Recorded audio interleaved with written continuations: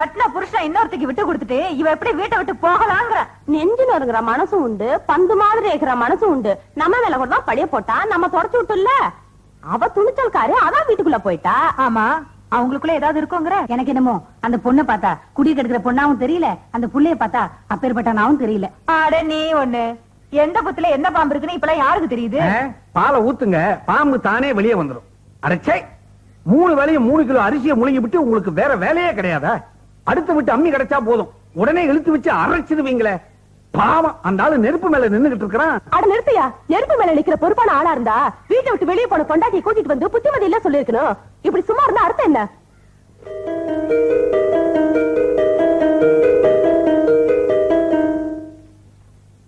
எங்க daddy daddy மாமா வராங்க.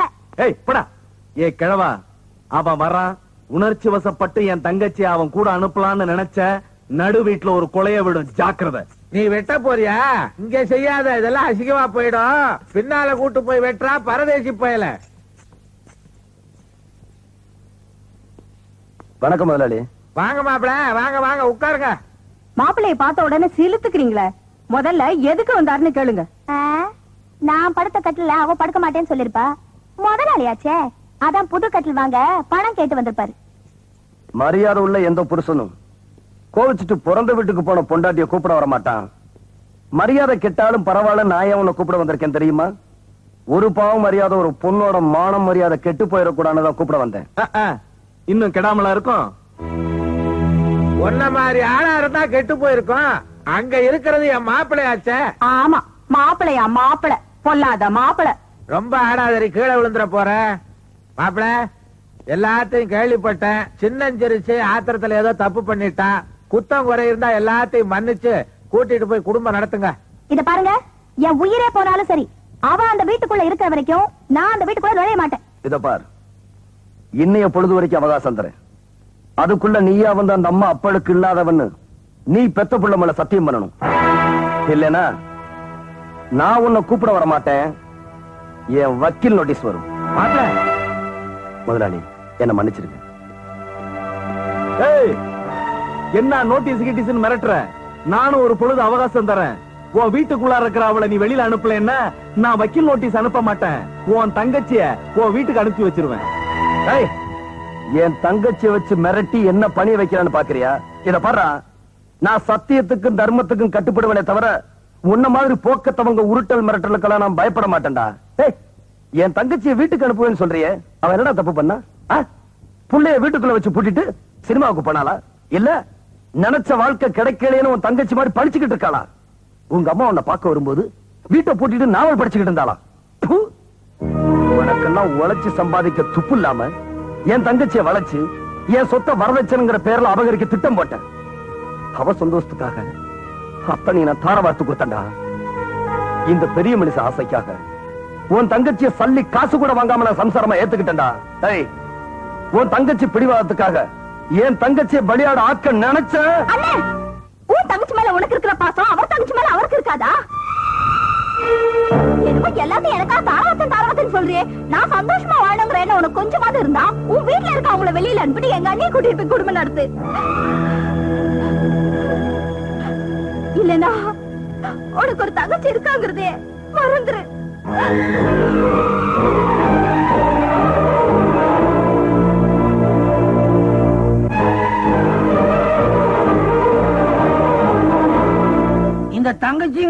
இப்படித்தான் தாவணி போடுற வரைக்கும் தான் தங்கச்சி.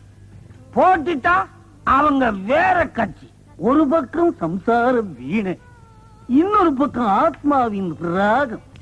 இடையில தங்கைக்கோர் கீதங்கிற ஒரு அபஸ்வரம். மருது இந்த உலகத்துல இருக்கிற பவர்கள்லயே சிறந்த பவர் வில் பவர். இந்த மூணு பேருமா சேர்ந்து உன்னை ஒரே அமுக்கா அமுக்கிட்டதுனால இந்த பவர் பியூஸ் ஆயிடுச்சு. பாவம். நீ என்ன செய்வ? தான் ராத்து ரெடி அப்பா ஸ்டெடி ஸ்டெடி நீங்க ஒண்ணும் தப்பா நினைக்காதீங்க. என்ன மாதிரி முன்ன பின்ன குச்சிருந்தா ஸ்டெடியா நிப்பான். புதுசா புற வரைக்கும் ஏறிக்கிச்சு உள்ள கூட்டிட்டு போய் படுக்க வைங்க. பெட்ரூம் எந்த பக்கம்?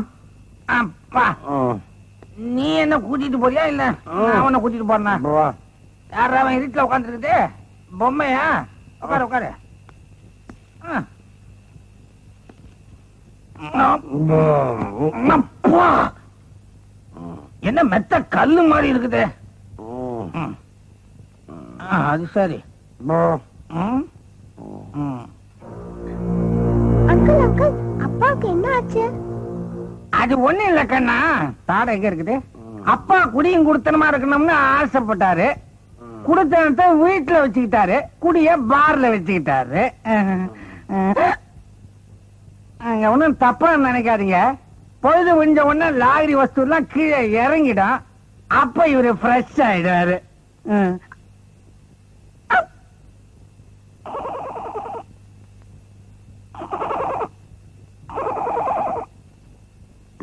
தங்கச்சி அப்படி ஸ்பெல் இருக்க கூடாது அவனுக்காக நான் எவ்வளவு தியாகம் பண்ணேன் என் பொண்டாட்டி எனக்கு வேணாம். வேணாம். அவங்க யார் தெரியுமா? அவங்க யாருன்னு தெரியுமா? அவங்க என் தெய்வம். தெய்வம்.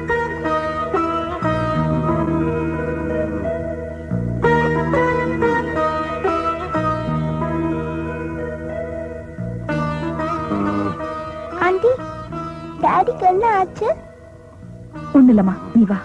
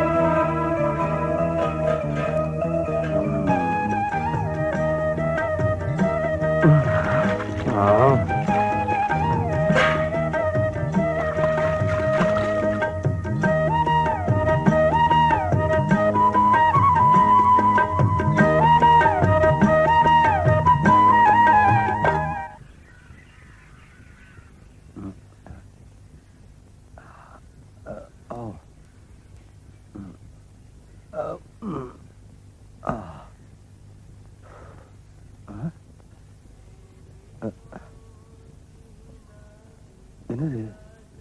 ட்ரெஸ் எல்லாம் மாறி இருக்கு ஆ.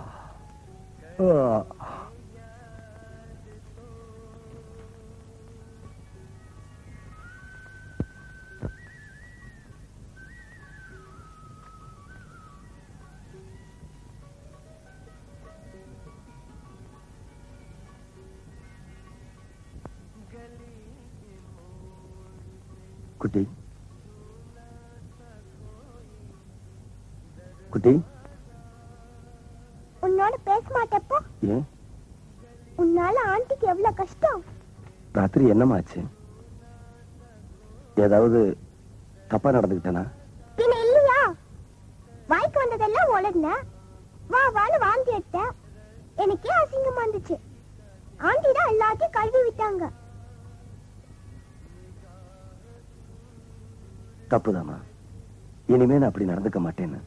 ஆன்ட்டி கிட்ட போய் சாரி சொல்லு. நான் ஏன் சொல்லணும்? நீ தானே தப்பு பண்ண நீயே போய் சொல்லு.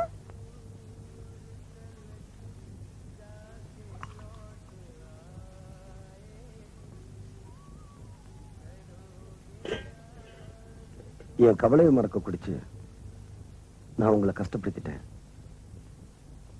உங்க கவலைக்கு நான் தான் காரணம்.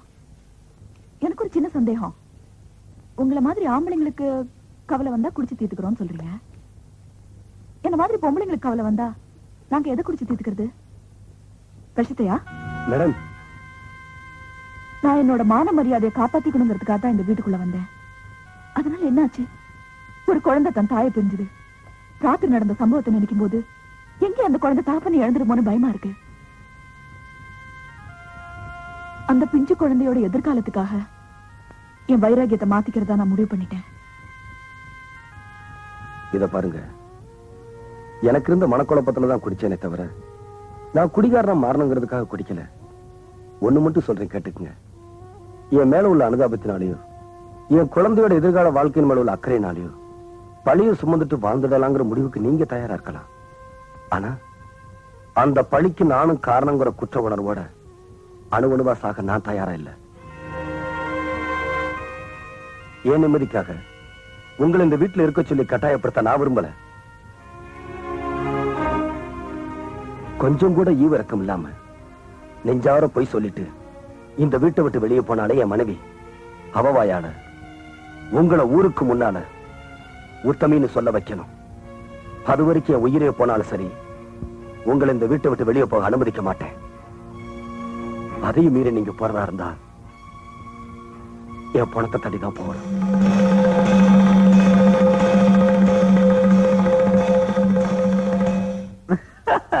நான் என்ன நினைச்சேன்? சாரதா என் வேலைக்கு மட்டும்தான் வேட்டு வச்சான்னு. இப்போ நீ சொல்ற உன் தங்கச்சி வாழ்க்கைக்கும் வேட்டு வச்சிட்டான்னு. இந்த லட்சணத்துல உன் மச்சான் உன் கடை வேலையை விட்டு குமரன் சிற்குல போய் சேர்ந்துட்டான். அப்படியா? அட அதை ஏன் கேக்குற? இந்த மாம்பழத்து மாமிங்களும் மயிலாப்பூர் மாமிங்களும் வாங்குறதுக்கு அலமோதுறாங்க. கேஷ்ல இருந்து எல்லாமே அவன் தான்டா நிஜமாவா? போற போக பார்த்தா இன்னும் கொஞ்ச நாள் அந்த கடையே விலைக்கு வாங்கிடுவான் பொழுது அவன் எப்படி விலைக்கு வாங்குறான்னு நான் பாத்துறேன்